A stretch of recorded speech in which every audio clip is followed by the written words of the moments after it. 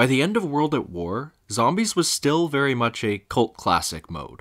The fans that it did have were really passionate about it and really loved it, but on the developer side, it was still very much a side project. It was secondary to the multiplayer, and the team was limited in the amount of resources they had and what they could do. Just a couple years later, though, by the time we got to the end of Black Ops 1's life cycle, it had now fully matured and was now an integral part of Treyarch's Call of Duty entries going forward fully supported and entirely its own thing. To make that very apparent, the fourth and final DLC for Black Ops 1 was nothing but zombies content. There were no multiplayer maps to support it at all. Zombies was now standing entirely on its own. The centerpiece of the Rezurrection DLC was a map that it felt like they poured everything they had into. A map that really embodied the passion that the developers had for the mode. That map, of course, was Moon. Destroy you for what you've done to. It's honestly hard to even start talking about it. There are just so many new things in every single aspect and corner of Moon. From the player's perspective, the first thing you see when you load into Area 51 for the first time is that there's no round counter.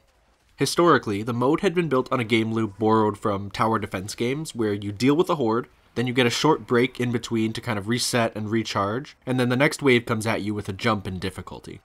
In this one small area, the zombies would instead constantly be spawning in infinitely, steadily getting more difficult over time and giving you no chance to get a break. In isolation, stretched over a full map of its own, this wouldn't be as engaging of a game loop as the conventional round-based gameplay. But putting it on here as a prologue to a classic style map was a great way to allow them to add variety without losing that core, even going so far as adding things like a timer showing how long you survived in that area, which wasn't really a variable that most players considered when they were just trying to get higher in rounds. With you in Area 51 was not a lot of utility. You only had the Pack-a-Punch, which you would come back to later, and one single perk machine. Because you could stay there for as long as you could survive, you'd be able to slowly build up points and start the main game on Moon having already bought Juggernog that really changes the power curve of the game, and while that sense of starting off weak and slowly accumulating power over time is important to the flow of zombies, on this one map that really felt like a celebration of the mode and was more of a playground to explore, it was a nice way to reward a skilled player by allowing them to skip the setup and get straight into the meat of the game. Once you'd decided you'd spent long enough on the ground, with or without getting upgrades, you could teleport up to the moon proper, and it's important to put into context how crazy this felt at the time. Since then, Zombies maps have featured dragons or aliens from other dimensions, but at the time, everything had felt relatively grounded. At the very least, every map had taken place on Earth. We were now starting to see the team really break away from that historical military Call of Duty formula. This being the moon, you would immediately start to suffocate and have to grab one of the PES spacesuits right in front of you. You would also immediately notice that any of those areas with low oxygen were also low gravity, which really changed the feel of the movement as both you and the zombies bounced around in near zero G. While in theory this sounds like it would just be across the board easier because everything is basically moving in slow motion, it actually added a lot of interesting complexities because you had to rely a lot more on momentum and you would find yourself overshooting your target if you took one too many bounces. Zombies were also harder to corral and train up because they also had a lot less control and they were overshooting where they wanted to go. It even added an element of verticality because with the right angle and a running start, you'd be able to fully clear a zombie if you tried to jump over it.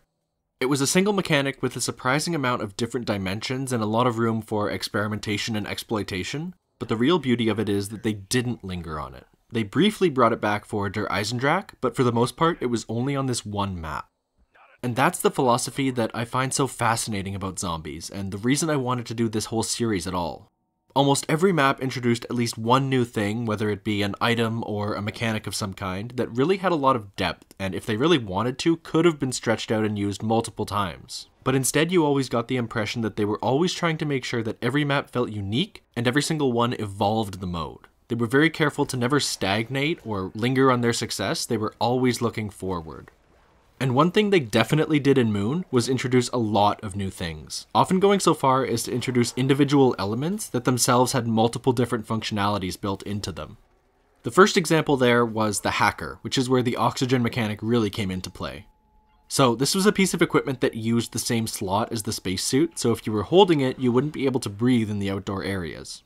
But it did a lot of interesting things of its own, so it created a real risk reward mechanic where you were choosing between survival and safety and utility.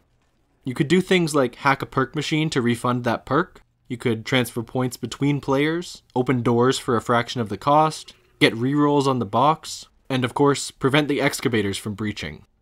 This one item had so many different things built into it, which just goes to show how exponentially complex Moon was, and how the developers were really holding nothing back and making sure that this was an exciting and content filled finale for the mode that they love just as much as the players. That same philosophy was seen in the QED, which was a tactical grenade that took that idea of multifunctionality and turned it up to 11. Every single time you threw one, it would completely randomly pick an effect off a list of upwards of 30 different things. It could be something as simple as opening a door near you for free, or instantly pack a punching one of your guns, maybe spawning a random power up, or even a red power up that the zombies could interact with to hurt you, like taking away ammo or points. By definition, it's not something you can use tactically, because you never know if you're going to even get something good or bad, let alone something helpful in a given situation. It's more just something you pick up in the later rounds when a game's been running long, and you just want to see what kind of goofy thing is going to happen next.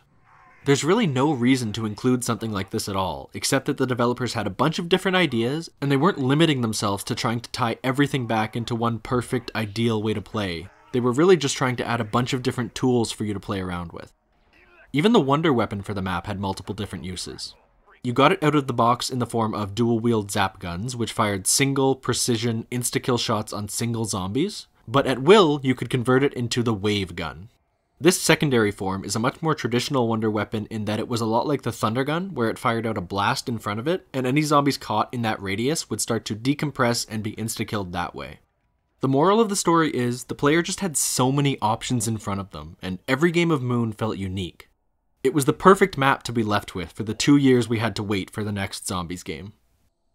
Moon was just overall a huge finale where they were holding nothing back, and that was not only in the gameplay, but also in the story. Over the course of the Easter egg, you actually finally confronted Samantha Maxis, who had been the main antagonist in every map so far. When Richtofen then swapped places with her and took control of the zombies, the players were the ones who launched the rockets that literally destroyed the Earth and made it uninhabitable. It was just such a wild quest from beginning to end, and that final set piece of blowing up the Earth is one of the most memorable of any Easter egg to this day. Putting all that power and responsibility in the player's hands was just so much fun to play through and had everyone theorizing about where they could possibly go from there to escalate it further. Every game always tried to send off their last map with some big event or new story revelation, but Moon was just a masterclass in how everyone was so universally hyped at that climactic end to Black Ops. Looking all the way down the line to Black Ops 4's Tag der Toten, which was not only the finale to that game, but the end of the entire zombie storyline as we'd known it, by comparison, that ending was much more reserved and quiet. That was obviously very intentional, and there are merits to that approach, but it just goes to show that nothing ever reached that same bombastic celebration of the absurdity and goofy fun that the Zombies mode has to offer. And all of that is still nowhere near the extent of the new things that the map introduced. You had things like the boss zombie of the map, the astronaut, who was a little bit like George Romero in that he would repeatedly spawn in every time you killed him and slowly walk towards you trying to grab you. If you did get caught in his range, he would grapple you, steal a perk, and then teleport you to a random location on the map, which could be dangerous if he teleported you outside and you were currently holding the hacker instead of the spacesuit. Losing the perk alone was enough of a threat, so it added a real sense of tension to the map, as you were scared to get close to any sliding door or go around any tight corner in case the astronaut was there and you wouldn't see him until it was too late. Moon wasn't a particularly scary map, especially compared to early World at War maps like Verrückt. But things like the much more muted sound design, the isolation of just the concept of being lost in space, and the fact that the astronaut could be around any corner made it so that when you played this map, you felt this uniquely quiet sense of fear at all times. A new perk was added, Mule Kick, which, as part of the bonus content for this DLC, was also added retroactively to every other map in Black Ops. For a steep 4,000 points, which was the most expensive perk in the game and second only in price to Pack-a-Punch, you'd now be able to carry a third weapon with you. Although, important to note is that if you ever lost that perk for any reason, you would also lose the gun that you purchased with that power, so you had to be tactical about what you invested in.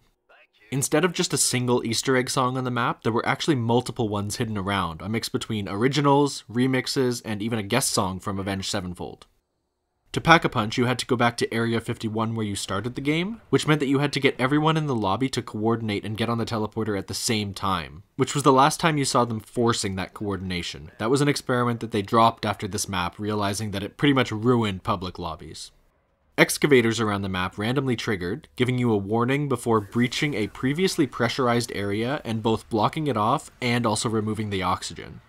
If you wanted to prevent that, you had to drop whatever you were doing, even if it was in the middle of a round, to grab the hacker and take it back to the control room.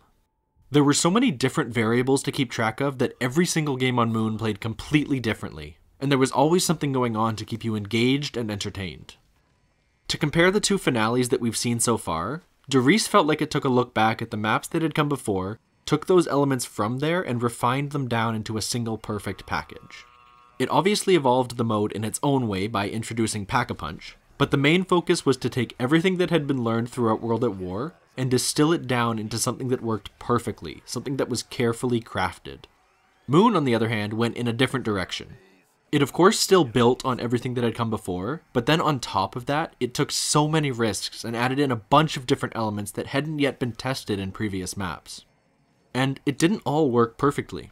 Some of the randomness, especially, was definitely frustrating to run into over the course of a long run or multiple different games. But even still, you could feel that every single aspect of the gameplay and every corner of the map was built with a genuine passion for the mode. It was a celebration of zombies, a love letter to the fans, and a promise that they were continuing to commit to improving and innovating in this now beloved game mode.